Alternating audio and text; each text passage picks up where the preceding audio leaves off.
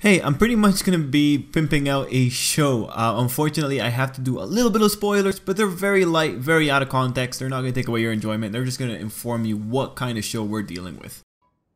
Hey everybody, it's Triple L, and today let me tell you about Death March.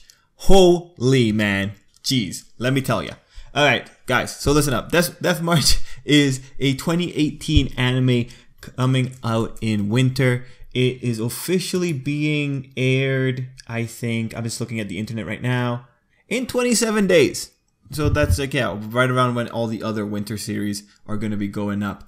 Guys, I really love Death March. It is originally a light novel series featuring a protagonist from Japan who gets transported to another world. Yes, it's one of those series, the, the ones known as isekai, the in another world genre. This is a in a particular substrain of that genre, the worlds that have game-like mechanics to them. It's a world where, you know, there's levels and stats and the character has access to that. There's skill acquisition in the similar ways that you can expect from an RPG world. Uh, it's that strain of in Another World series. As is common with the stories in this genre, the main character is ridiculously overpowered. But the thing with the isekai stories is always how does that overpoweredness play out? In the recent year, we had Smartphone. That was a horrible excuse of handling a character who is overpowered. Heck, God was on his side the whole time. Death March, you have a similarly overpowered character, but Death March plays it up in a slightly different way. And this is one of the main draws with the Isekai series, right? Isekai being this whole investigating another world, it's always coming down to how the characters are handled. And this is where Death March does really well. Uh, like I said, the main character is Sato, a programmer from Japan. He goes into this other world. Something happens. You can kind of see it in the trailer what ultimately happened. You can get an idea of what the trailer is saying happened, but something happens and he ultimately becomes overpowered. What does he go on to do after that? Well, he goes on to learn about this world. One of the main drives for Sato in this other world isn't so much fighting and combat, rather, it's sightseeing and at a later point, um, interactions with his friends in that world. Now, this was really interesting when you were reading this novel because taking fights out of the equation is a very easy way to reduce an overpowered character back to some idea of normalcy. Instead of just seeing a guy go through and throttle every enemy that he finds, just wipe out every enemy he finds, you're going to see a guy who will go through and stop every enemy he finds, but he will also have to deal with the struggles of integrating in the normalcy of another world and playing up that kind of face, his social game pretty much. What Death March does with Sato is that he makes us kind of join him on his journey to understand his struggles in fitting in in this world and just trying to uh, ensure pretty much a comfortable life for himself. Um, making his goal sightseeing opens up the avenue where he has to go and fight things because those things are going to destroy the sightseeing spots for him. If he doesn't fight, he's going to lose that cool little waterfall that he wants to go see. If he doesn't fight, he's going to lose that cute little town that he wants to go see with Sato's journey in Death March, it was a really interesting thing because you end up with this character who is overpowered enough, and that overpoweredness gives him the means to go and make some aspects of the world a little bit easier on himself. But it also still presents a challenge. I know that light novel readers will remember the time that Sato absolutely struggled when he was searching the whole world for a single ingredient that he wanted to put into a dish. And that is Death March, and that is Death March in its finest. It's the the story of this one guy who's really strong, but he can't get the simple things like a banana or a pickle.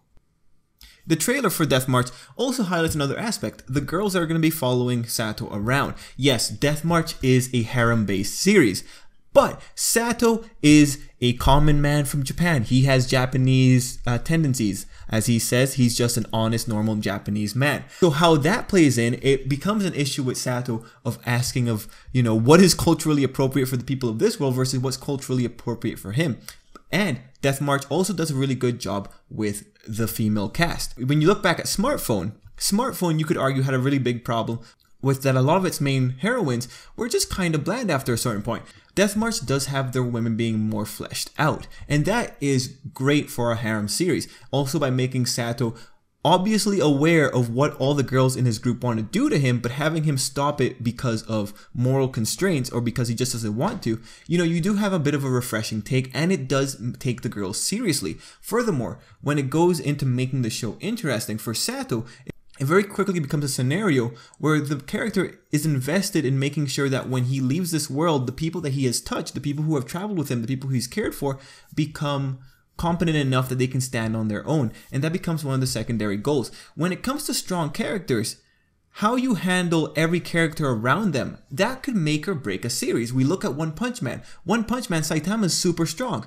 But a lot of times we are just seeing how other characters, the other heroes, are struggling against the enemies that Saitama will eventually overcome.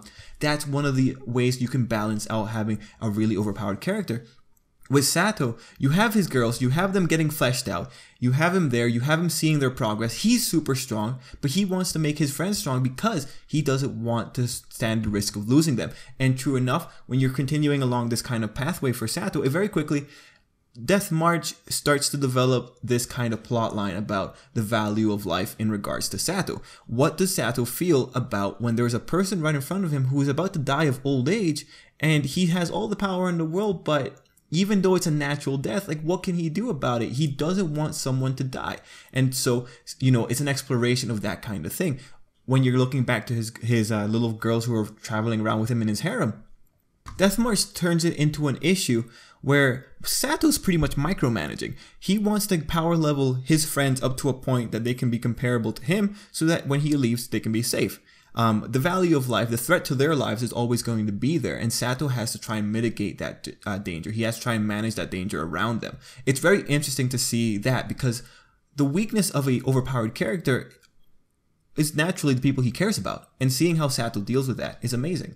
Another aspect of uh, Death March that I think is really interesting is that there is some level of political intrigue and economics kind of playing into it. In the original light novel or the web novel, whichever one you picked, a lot of it we have to deal with Sato going around the world and eventually developing economic interest in various spots. And this is where I really want to see how the anime is going to play it out. Because in the light novels, because Sato's overpowered, naturally he can teleport wherever he wants or fly wherever he wants or go back to whatever place he wants to go back to. And a lot of micromanaging as, as well. I do wonder how the anime is going to portray that. And now that we're talking about anime portrayals, and guys, you know, I kind of went into a, a, tangent there, but just the main points of that is, you know, uh, Sato's a pretty cool overpowered character. They have an interesting way of keeping him leveled and giving him some kind of realistic problems. And then they have the anime element.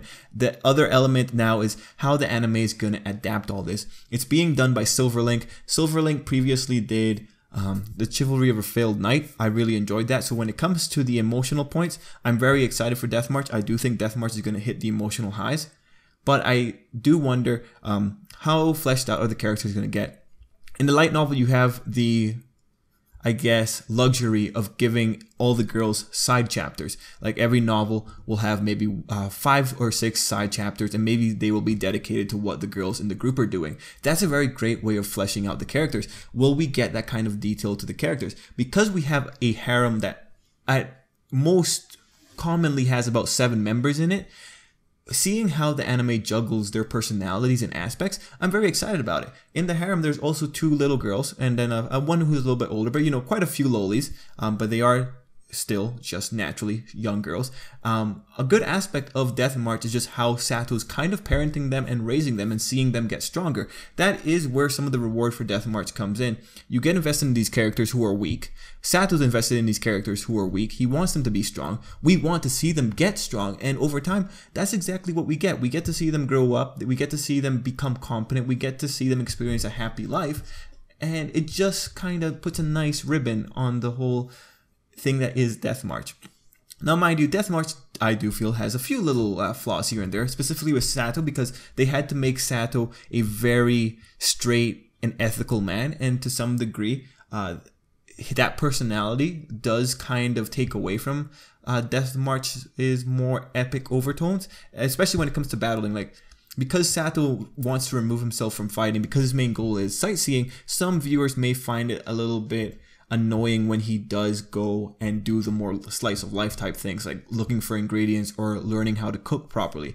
But that that is ultimately a part of Death March, and it is really enjoyable when you're going in and you're reading these volumes and you're reading full chapters about the guy trying to just cook a crab or find a crab or catching new ingredients and then everyone in the in the bottom just talking like you know still not as great as the pickle hunt of it still not as great as the pickle hunt of 86 but uh, it's just one of those little things uh, death march definitely established itself as having its own unique quirks and even with sato who is so overpowered in exchange for danger it gave you controlled and safe growth so the moments that the girls are in danger you'll be on the edge a lot more Death March though, man. I was so excited for this. This is gonna be great. And the next and the next best thing is that since I am like almost fully caught up with the light novels, I'll be able to know exactly what they're skipping over. And so that's gonna be an exciting thing. Now the only question is how many episodes it has.